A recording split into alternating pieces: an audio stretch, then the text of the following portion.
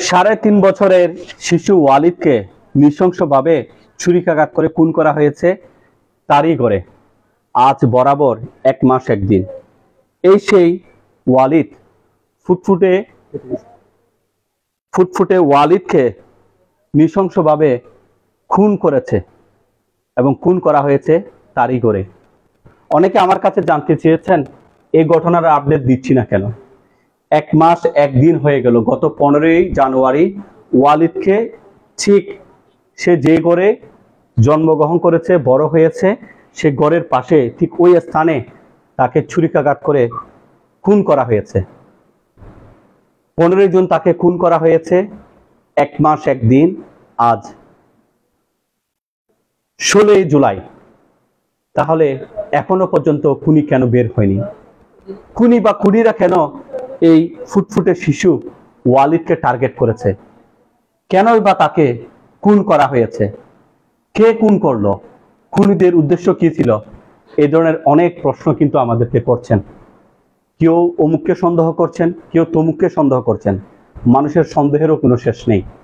ইতোমধ্যে থানা পুলিশ ওয়ালিদের মা, ওয়ালিদের চাচা, দাদি, ফুফি, যারা ছিল সবাইকে ডেকেছে। এমনকি পিবিআইও কিন্তু ডেকেছে। এখনও পর্যন্ত সেই আলোচিত ওয়ালিদ হত্যার রহস্য উদ্ঘাটন হয়নি। একটু ওয়ালিদের মা একটু দিকে আসবেন। আজকে প্রথমবারের মতো ওয়ালিদের মায়ের সাথে আমরা কথা বলব। সেদিন কি হয়েছে সেটা জানব। কীভাবে উনি ওনার সন্তানকে দেখতে পেলেন, সবগুলোর বিষয়ে জানব। সাউন্ড কি শোনা যাচ্ছে একটু কষ্ট করে বলবেন? একটু সাউন্ড শোনা যাচ্ছে কিনা একটু কষ্ট করে বলবেন কেউ। সাউন্ড সাউন্ড কি একেবারে নেই? শোনা যাচ্ছে কি, শোনা যাচ্ছে না? আমাকে একটু কেউ একটু দয়া করে জানাবেন। সাউন্ড শুনতে পাচ্ছেন কিনা একটু জানাবেন? আচ্ছা সাউন্ড শোনা যাচ্ছে বলছে।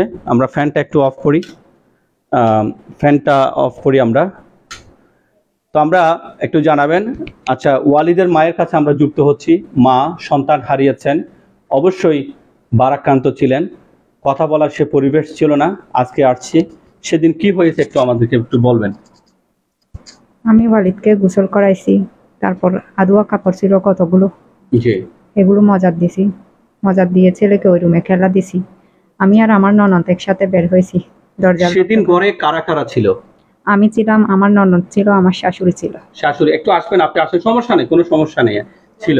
আর আপনার কে ছিল? তো পুরুষ মানুষ কি কেউ ঘরে ছিল সেদিন? পুরুষ মানুষ কেউ ছিল না। আচ্ছা অর্থাৎ আপনি আপনার শাশুড়ি আপনার ননদ হ্যাঁ, এবং ননদের মেয়ে ছিল। হ্যাঁ। তার বয়স কত? ননদের মেয়ে? তিন বছর। তিন বছর। আর আপনার ছেলে ওয়ালিদ ছিল। হ্যাঁ। আচ্ছা তারপর কি হলো? তারপর কাপড়গুলো মজার দিয়ে গেছি। ওইখানে খেলনা দিয়ে দিছি ছেলেকে বলতেছি একটু আসেন আমরা একটু দেখাই। প্রিয় দর্শক কোন স্থানে খেলনাগুলো দিয়েছে সেটা আমরা দেখাই। ওইখানে সেই রুমটা হচ্ছে যে ওয়ালিদের মায়ের রুম।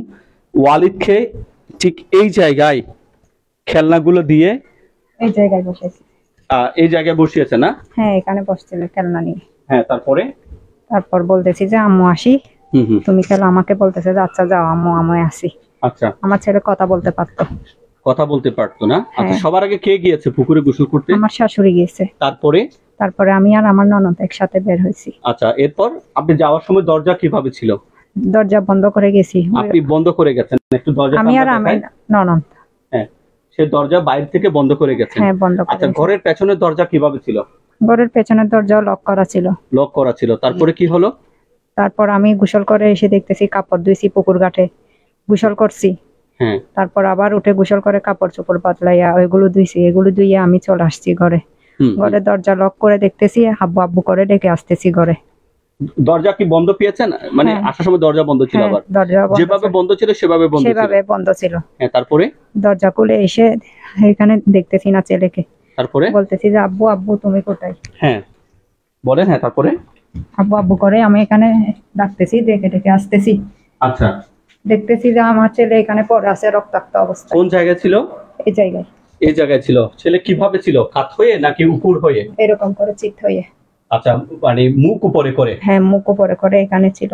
পড়েছিল তার কোনো কান্না শব্দ কোনো কিছু পেয়েছেন? কিছু পাই নাই কি দেখতে পেয়েছিলেন এখানে? এখানে আমি আমার ছেলেকে রক্তাক্ত অবস্থায় দেখতে পেয়েছি। রক্তাক্ত অবস্থায়? হ্যাঁ রক্তাক্ত হ্যাঁ, কি অবস্থায়। করেছেন এরপরে? তারপর আমি কোলে নিয়ে চিৎকার দিয়ে বাহির হয়ে গেছি। তখন আপনার ননদ আপনার শাশুড়ি তখন ওরা ছিল? পুকুরে ছিল। ওরা কেউ ছিল না? না হ্যাঁ, ওরা তারপরে? আমার চিৎকার শুনে তো সবাই বাহির হয়ে গেছে। আচ্ছা আপনি নিয়ে গেছেন। হ্যাঁ আপনি কি ভেবেছিলেন? যখন রক্ত দেখতে পেয়েছেন? আমি মনে করছি মাথা ফেটে গেছি। এরকম ভাবে আমার ছেলেকে হত্যা করবে এটা তো আমার মনে আসেনি আচ্ছা আমি তো চিন্তা হত্যা করিনি। করেছে বলে মনে মানে ইয়ে হত্যা করছে ওইটা মনে আসে না আমি মনে করছি কিছু থেকে পরে মাথা ফেটে গেছে। আচ্ছা হ্যাঁ হ্যাঁ হ্যাঁ হ্যাঁ। মাথা ফেটে গেছে। তারপর ছেলেকে নিয়ে ওইখানে গেছি। সবাই আসছে আমার চিৎকার শুনে।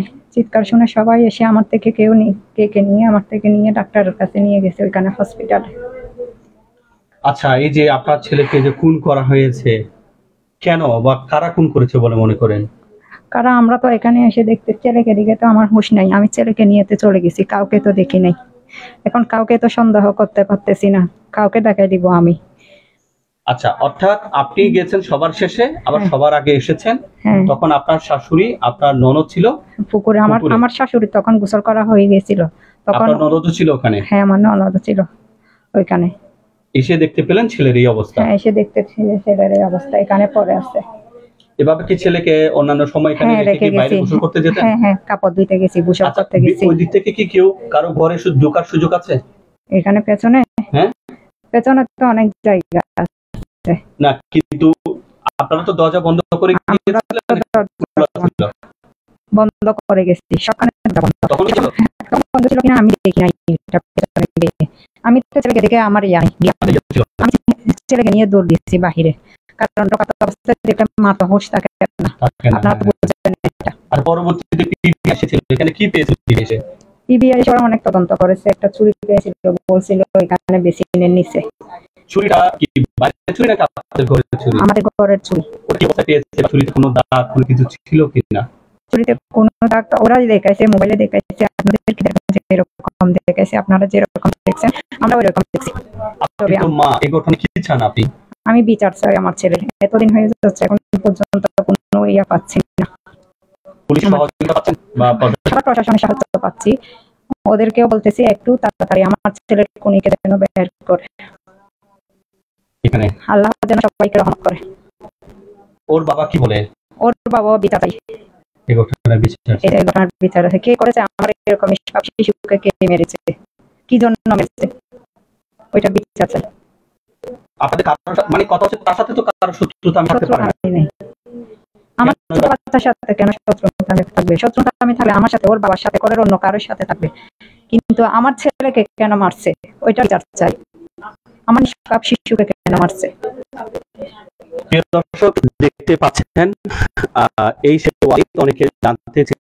মায়ের বক্তব্য, তার মা কি মা আমারও আশা হয়নি, যার কারণে মাকে আমরা প্রশ্ন করিনি।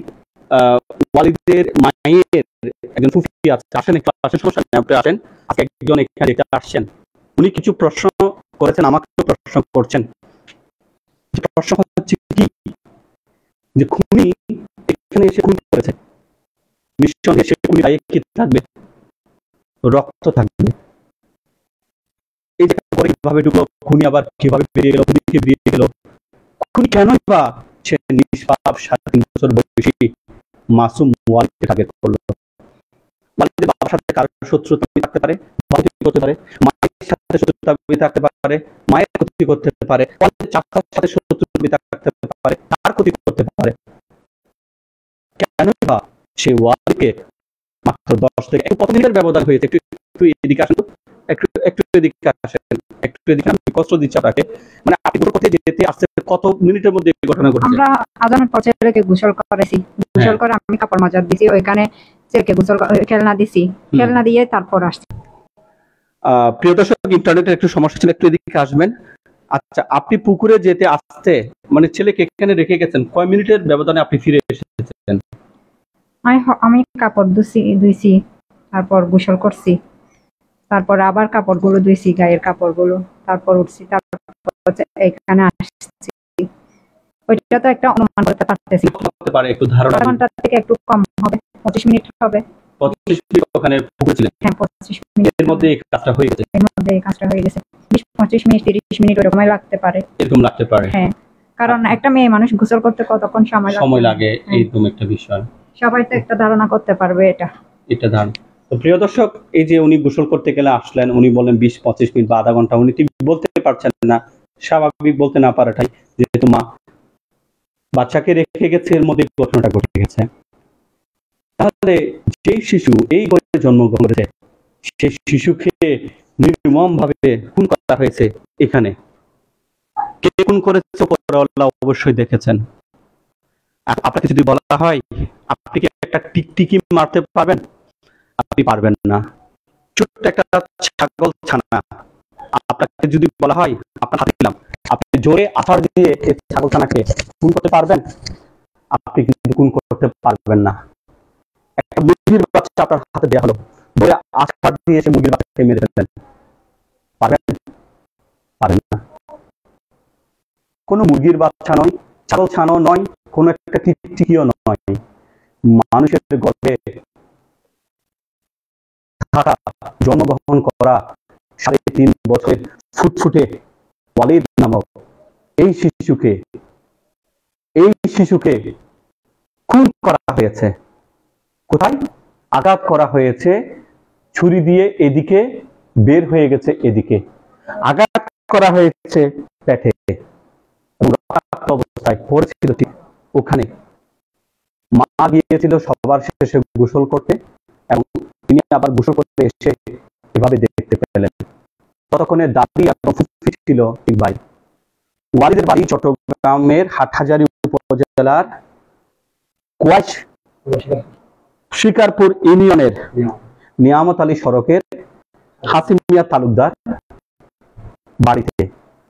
হাসিমিয়া বাড়ির জাফর আহমেদের চার পুত্র, এক কন্যা। চার পুত্রের মধ্যে সবার বড় হচ্ছে জাভেদ। জাভেদ বিয়ে করেন এতক্ষণ তিনি বলছিলেন নিশাদকে আজ থেকে পাঁচ বছর আগে। তাদের ঘরে জন্ম ফুটফুটে ওয়ালিদ। ওয়ালিদের মেজ চাচা, যার নাম জাহেদ, তাকে মধ্যপ্রাচ্যের দেশে। দ্বিতীয় ছোট চাচা জাহেদ, তিনিও থাকেন মধ্যপ্রাচ্যের দেশে। একমাত্র চাচা আবুল খায়ের গ্রুপে চাকরি করেন চট্টগ্রাম নগরীর অক্সিজেন এলাকায় অফিস আছে, আজাদ। তিনিও কিন্তু ঘটনাস্থলে ছিলেন না। ঘরে যারা ছিল ছিল ওয়ালিদ, ওয়ালিদের মা, ওয়ালিদের ফুফি, জ্যোতি আক্তার। ওয়ালিদের ফুফির ছোট্ট একটা মেয়ে, হয়তো তিন বছর হবে, এরকম হবে। এবং ওয়ালিদের মা, ওয়ালিদের দাদি। ওয়ালিদের দাদি, ওয়ালিদের ফুফি এখান থেকে বাইরে পুকুরে করতে যায়। মা সবার শেষে বের হন। ওয়ালিদকে খেলতে গেছিল খেলনা দিয়ে। এই যে দেখতে পাচ্ছেন, এগুলো সবগুলো ওয়ালিদের খেলনা, তাই না? এই সবগুলো দেখেন, একটু দেখায় যদি দেখাও। সবগুলো কিন্তু ওয়ালিদের খেলনা। এই সব ওয়ালিদের খেলনাগুলো ওয়ালিদকে দেওয়া হয়েছিল খেলার জন্য। এবং এবং এখানে এখানে যখন মা ফিরে আসে, তখন ওয়ালিদকে ডাকে, ওয়ালিদ লাভ করেছিল ওখানে। বাইরের দরজা বন্ধ ছিল যে দরজা দিয়ে ওয়ালিদের মা বাইরে গোসল করতে বন্ধ করে দেয়, সেটাও বন্ধ অবস্থায় পায়। এর মধ্যে এসে দেখতে পায় ওয়ালিদের এই অবস্থা।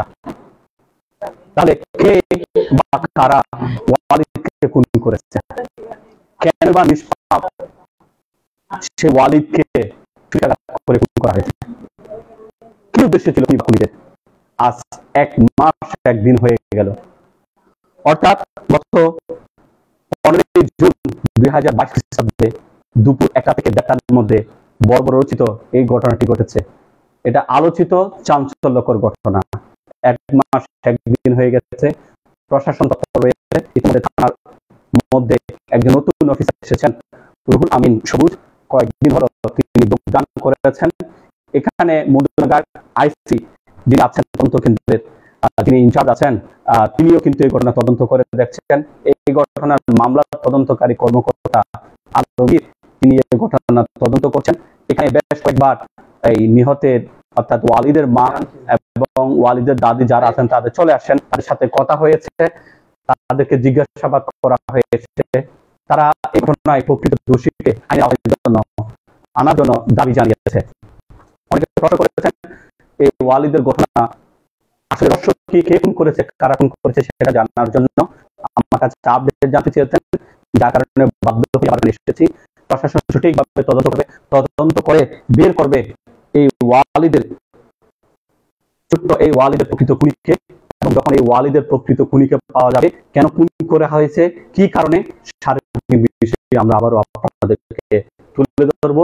আপনাদেরকে অপেক্ষা হবে। অনেকে অনেক কিছু মন্তব্য করতে পারে, আমি কোনো মন্তব্য করতে পারি না এখানে। শুধু যা দেখেছি, এখানে এসে বা যা সাথে কথা বলছি, তাই আমি একজন বাসিন্দা হিসেবে এই ঘটনার সঠিক তদন্তপূর্বক প্রকৃত আইনের আওতায় এনে তাকে যথাযথ বিচারের মুখোমুখি করার দাবি জানাই কারণ যারা নিষ্পাপ, মাসুম বাচ্চাকে তার ঘরের মধ্যে নৃশংসভাবে খুন করতে পারে, তার আশা কিছু হোক, তারা মানুষ হতে পারে না। বা যে খুনি এই কর্মকাণ্ড করেছে ভিন্নতম কর্মকাণ্ড করেছে, সে মানুষের পর্যায়ে পড়ে না। প্রশাসন অবশ্যই এই ঘটনা বের করবে এবং ইনশাল্লাহ আমরা আপনাদেরকে সে ঘটনা জানিয়ে দেব। চট্টগ্রামের হাটাজারির শিক্ষাপুর ইউনিয়নের নিয়ামত সড়ক সংলগ্ন মিয়া তালুকদার বাড়ি থেকে আপনাদেরকে যুক্ত করেছি এখানে প্রবাসী জাভেদের একমাত্র পুত্র সন্তান। এই যে দেখতে পাচ্ছেন, ওয়ালিদকে নৃশংসভাবে পনেরোই জুন দুপুর একটা থেকে দেড়টার মধ্যে তার এই ঘরে নৃশংসভাবে খুন করা হয়েছে। এক মাস একদিন বেরিয়েছে অদ্যাবধি ঘটনা রহস্যের জকরে নেই যখন এই জানতে পারব, তখনই আপনাদেরকে জানিয়ে দেবো। সবাই অপেক্ষায় থাকুন। আজ এই পর্যন্ত। এরপরও আরও যে কয়েকটি ঘটনার সর্বশেষ জানতে আপনাদের কার্যক্রমে আমরা জানিয়ে দেব। আপনাদের মধ্যে যদি কোনো ক্লু থাকে, হয়তো প্রশাসনকে দিয়ে করতে পারেন। ভালো থাকুন, সুস্থ থাকুন, নিরাপদে থাকুন। আসসালামু আলাইকুম।